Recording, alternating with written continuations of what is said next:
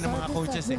Kasi you want to get in and out like takeout. Mabilis ka lang dapat dyan pagka mga kaya mo yung teams, you have to take care of business right away. And we are underway here in set number two. Maraming salamat sa inyong panonood. Tom Ross alongside Coach Hammer, Martin Antonio. And working the sidelines at courtside, we have Hannah Arguelles. You know, we have been raving about the young middle blockers. At yun nga, no more Sid Niego's biggest loss for JRU this season, but uh, these girls making her proud. Laban yung bata. Laban ha. Tsaka mataas yung work rate niya. Kanina nabanggit natin na siya talaga yung chuma-challenge and moving side to side. And finally, the team captain, Aldea, getting a quick attack to go. Papuntong hininga sa, parang sa wakas. Pumasok din. Kasi nanggigigil siya eh. Nakita natin first two middle, uh, first two quick sets na binigay sa kanya, nag-error. At the service area. So Aldea, second straight season as the team captain of the Lady Altas. And an ace by Shai Omipon.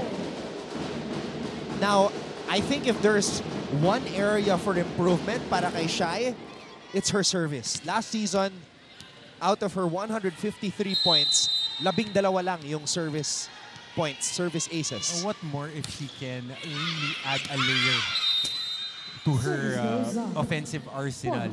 Kasi ang game ni Umipon is uh, really built on power. Power player, power hitter siya. Parang kahit kargahan mo ng tatlong blocker, babasagin at babasagin niya. She would try. Nabanggit nga ni Coach Sandy that she is trying to improve on her game. She wants to be more finesse. Be a little bit more finesse on her game. And it would affect, syempre, yung mga pagpalo niya sa service. Magta-translate yan. Sapin activating Aldea dito sa pagsisimula ng set number two. Dapol down the line. Coverage is there. Omipon was there. Dapol again. Okay, that's good floor defense and net defense as well for the JRU Lady Bombers. One of the longest rallies of the match. Uh, they are able to put the ball up despite the pressure being applied by Dapol. Yep. For the Lady Altas. And in that rally, uh, Dapol had three attacks that they were able to contain. But again, an error on their attack gives a point to the Lady Altas. One of the things that I'm noticing all also, also sa JRU, remember when uh, Alonia was playing heavy, heavy minutes? Oo. Now may rotation siya. Silang dalawa ni Lalong Isip, the rookie. Si, si, si Alonia, putok na yung kilay. Naglalaro pa, the, maglalaro pa the following game. I remember that. Na, kaya, battle din Bruce. Talaga siya season 98. Present Aldea. Remember we would watch her sa beach volleyball and, and like yung cuts niya kitang-kita sa sun. Oh. One of the most conditioned players that we've seen dito sa NCAA. Palitan eh. Pag, pag hindi kasi makondisyon, ewan ko na lang. Dudanya. Lifting. Ah, double Double contact. contact on the side of the Lady Altas. Point goes to the Lady Bombers.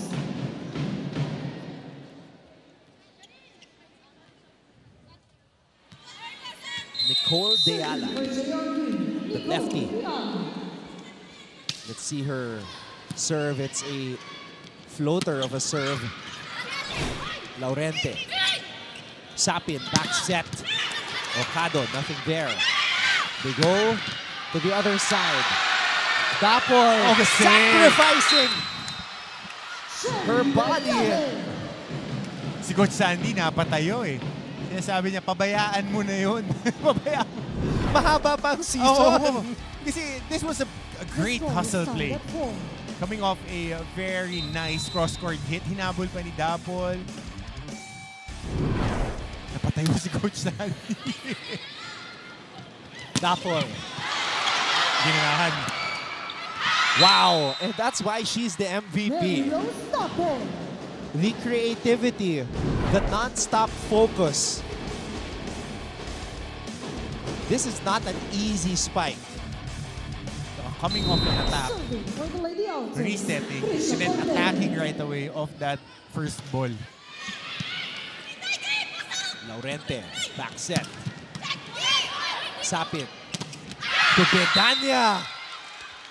And that's what they need to do.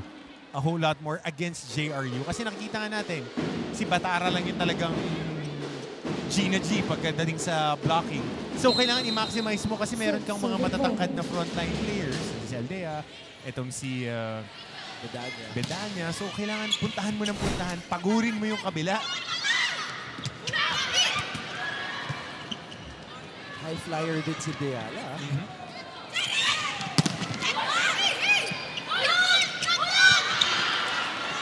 Laurente back to Deala. Paano pumalo? They are Impressive, ha? making the Perpetualites work, Coach Hammer. Oh, ho! But again- Bedanya, regalo. Hindi naman niya birthday, pero may regalo sa gitna over that. Yun yung pinakamahirap Oh. i-block yung regalo. Oh, kasi nagsiscramble ka pa on the backline. Kita mo nga yung service na yung Ocado. Love the flick of the wrist. Oh, sharp serve by Okado. Oh, Service A. she okay? Yep. Parang tumama yung ulo niya sa... Buti na lang may cushion. Score 8 for the Lady Altos. All right. Four for the Lady Bombers. Perpetual leads JRU 8 to 4.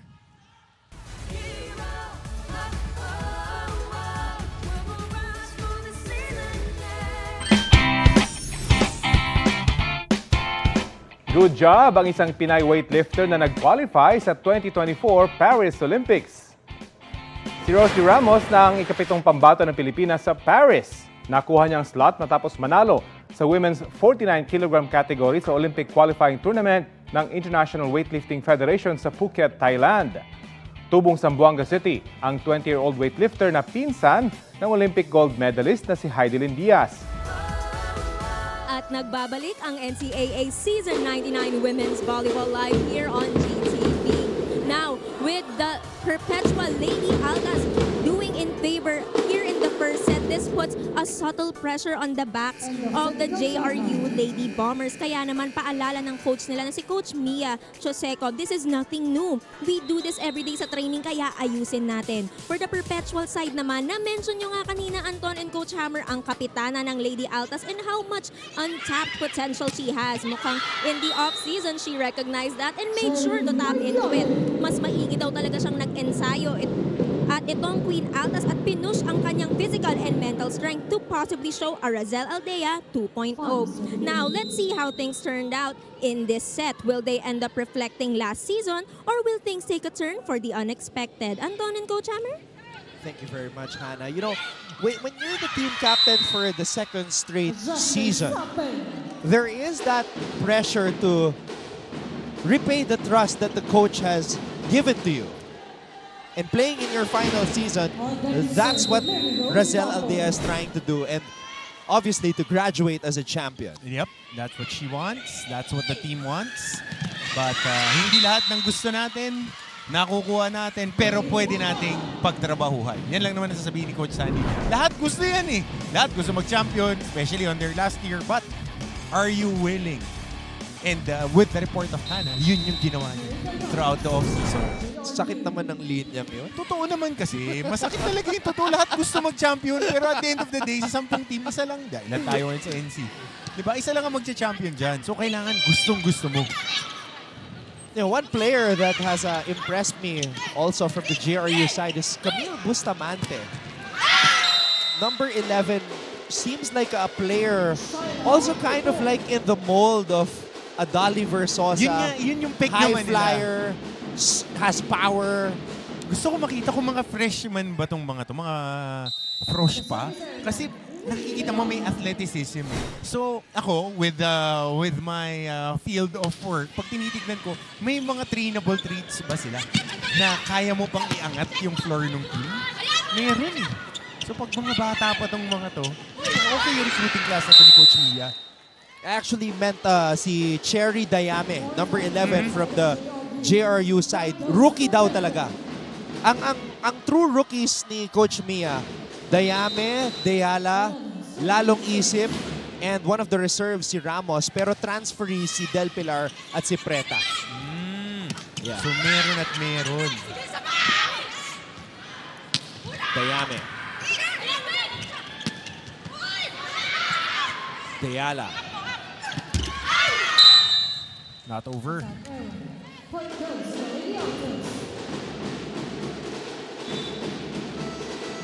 Mia wants to talk things over as Perpetual once again establishing a big lead.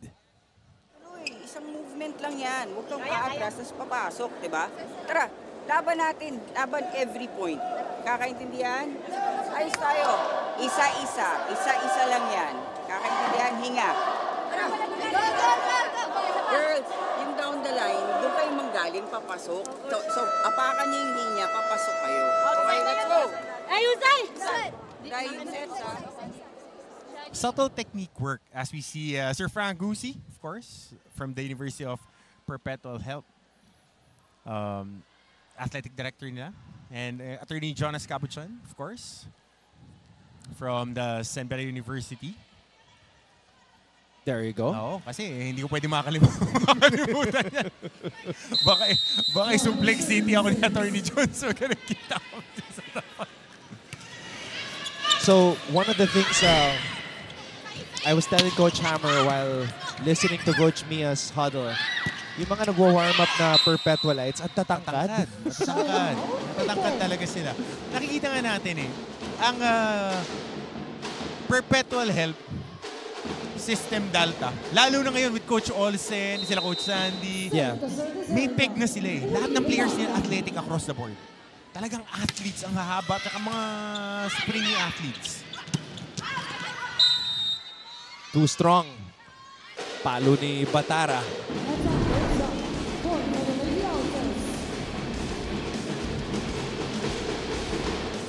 Okay din tong Batara. I think she's on her second or third year, if I'm not mistaken, because she was there last season, sparingly used. Because of Sid Niegos, who Oo. plays pretty much the entire game. Kaya, ang pahinga lang nun, technical timeout. Yeah, she's a sophomore. Aha. Si Kring Batara. So you, you have pieces. You have pieces here that you can work with. And ang kagandahan dito sa team ng ah, as early as now, they're a tough out because they're competing. They're really competing. Kahit hindi mo nakikita on the scoreboard, they're they're giving you a high work rate and that's what you want to see as a coach. And really, as of this Point for the moment, though, Perpetual's biggest opponent is themselves with the number of unforced errors that they are committing. Number 11. Count that as opening day jitters by their partner. Uh-huh. We give it to them. But for the most part, you got to build build up things towards the middle part of the season and then for the stretch run. Kasi ano sila eh, cruising speed sila last season eh. Omipon again. There you go. Laurente to the captain, Ruiz. Sapin, quick attack para kay Aldea.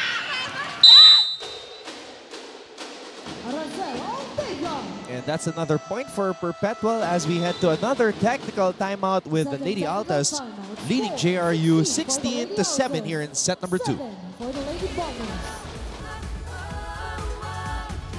Good job sa kanyang pagbabalik sa Olympic stage si Pinay weightlifter Elrin Ando. Matapos po yan ang matagumpay niyang performance sa Women's 59 kg event ng 2024 IWF World Cup sa Phuket, Thailand. Nakabuhat siya ng total na 228 kilograms at nakakuha pa ng ikapitong pwesto. Naungusa ng 25-year-old Pinay weightlifter ang kapwa-atleta at Tokyo Olympics gold medalist na si Heidi Lynn Diaz sa parehong kategorya. Nakabuhat si Diaz ng total na 222 kilograms. Si Ando ang ikatlong Pinoy weightlifter na nag-qualify sa Paris Olympics. Sa kabuuan, siyam na ang pambato natin sa Olympics na magsisimula sa July. Good job! 16 to 7 in favor of the Perpetual Lady Altas. At siguro isa sa mga pinaka-proud na nanunood ngayon. Number 9 ng men's basketball team ng Perpetual, Jello Razon. Coach Hammer, sino ba ang ah, pinapanood ni Jello? Balita ko. yung mga nagsiset up din. So Ah. si Min, Min Min nga. Okay. Sabi, no, big supporter ng Lady Altas. Proud BF daw ni Minmin Sapin. Wants to put it out there. Pero Jello mag- Razon. mag- magkaiba sila na raw. Si Jello kasi pass first, pass sa ring. pass first to the ring. You saw Dolly Versosa, Yep. new assistant coach. of the JRU Lady Bombers, former Queen Bomber. Is she still playing sa pro circuit? I am not, uh, I am not sure. Yeah. Because after she graduated, she played a couple of conferences eh. I, I, I wouldn't be surprised though because uh, you know Dolly's still very young pero I, I, I like how she answered the call of Coach Mia. Now when Coach Mia asked her to come back and help her mold these young ladies, very quick to answer the call. Brother, nothing beats coaching at home. Nothing beats it. And winning at home, nothing beats it. Kaya yung mga ganito growing pains, magandang kasama siya dyan. Kasi eventually, when you see that uh, may silver lining eh, every every journey. Pagka nakikita mo nung nag improve na yung mga bata, ang laking bagay niyan. Especially for her. What I like about what Perpetual is doing, the variety of plays, especially Exactly. for Umipon, ang daming combination plays for her. Yun yung hinahanap natin. Na, babalikan natin kanina yung pregame natin. How will this ball be distributed? They're giving a different look, but still the same suspects. They know their percentages kung sino yung mga players nila na very effective. Dinadala lang nila sa iba't ibang spots. But right there, that was a very good hit for the Lady Bombers. Queen Bomber, Shola Alvarez, former NCAA MVP as well and member of our broadcast team. O si Sid Niegos, katabi ni Shola. Bakit siya nagtatago? Si Shola parang ano, eh, ready for date night eh. Back to the ball game! Back to the ball game! When it comes to fashion, how come all of a sudden you go silent, Hammer?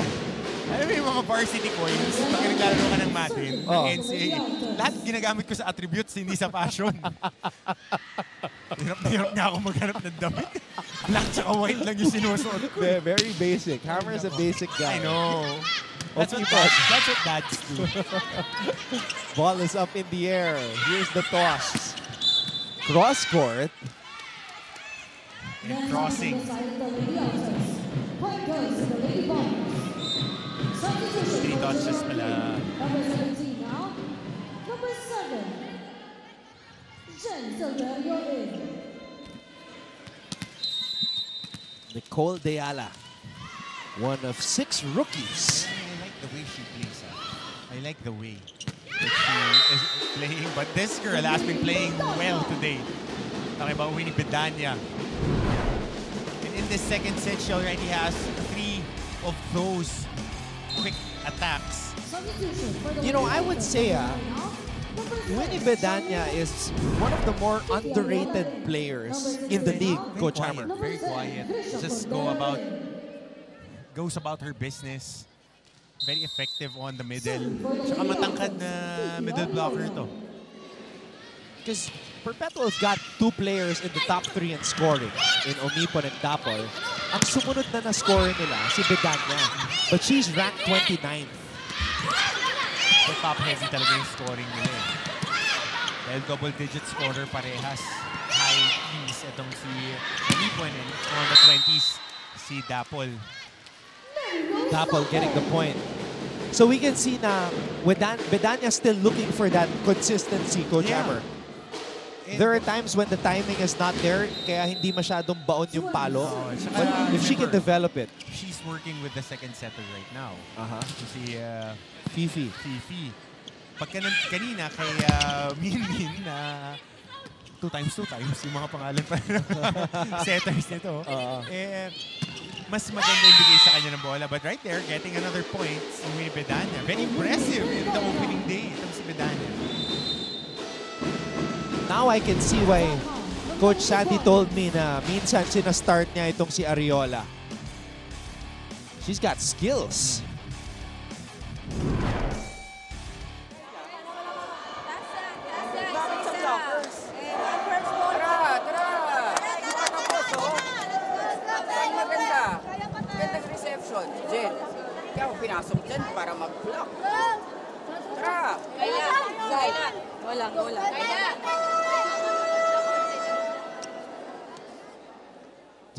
Serious tone and Dali Versosa joining that huddle now. There, the coaching staff for the JRU Lady Bombers. Ngayon, hawak pa lang yung clipboard at saka yung marker. Tingin mo, by the middle of the season, kumukrokis na yan. So we are seeing the rookie setter, Fifi Ariola. Can you imagine if uh, they stick together all throughout their time in the NCAA? Magandang, ano yan, tandem yan, first and second setter Yeah. ni Minmin at ni Fifi. Pero alam mo, Coach Hammer, this year, tama ka eh. This has to be the year for the Perpetual Lady Altas because Aldea is graduating, Dapol is graduating, Okado is graduating, Cordero is also graduating. So, this has to be it. This has to be the year, Coach Hammer. Boost mo na.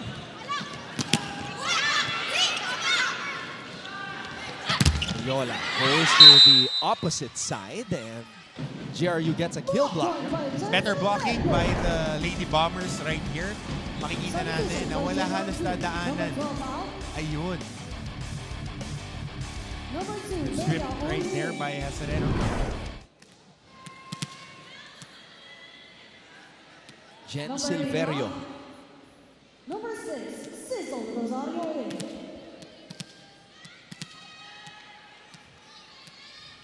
Silverio taking her time.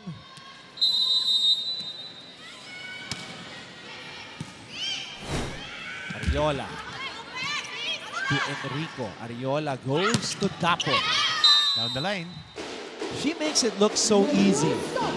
The MVP. Parang may dalang metro sa bulsa. Lahat ng palo, sukat na sukat.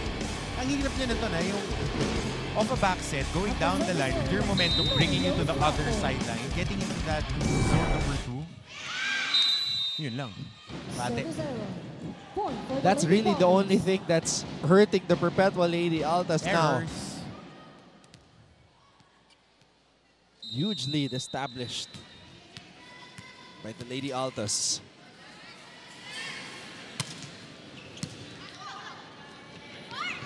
Set. And JRU having trouble putting that ball in the air. Set point for the Perpetual Lady Altas. The Lady Altas is now at set point. Nice hit by Krisha Cordero, one of the graduating players that I mentioned. Apat sila. Playing in their final season. Rosario tossing it up to the captain, Ruiz. Rosario. Ruiz. Free ball for Perpetual. Combination play. Ariola. Omipon. And Oh, there's a check. Net touch for the side of That's JRU. set point. Point goes for Perpetual. Omipon again, the finisher for the Lady Altas. And just like that, the Lady Altas The Lady Altas one set victory the away from taking their 14. first win of the season here leads this match in season sets to none. 99 of your NCAA.